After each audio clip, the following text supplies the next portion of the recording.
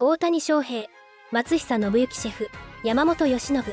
松久信之シェフはロサンゼルス LA の日本食レストラン松久のオーナーシェフ。大谷や山本も以前来店していました。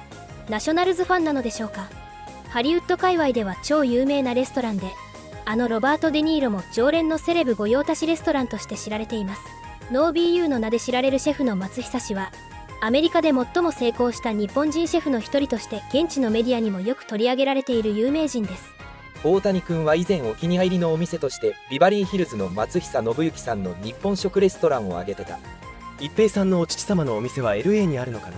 もし大谷君がそのお店を押したならとんでもないことになるからあえて気を使ったのかな？と推測しました。はい。確かにこの場でナショナルズ来て写真撮るってことは生粋のファンなんでしょうねわらレストランノブの方はナショナルズファンなんだね。LA にお店があるならこれから長い付き合いになるね。それよりドジャースファンになろう。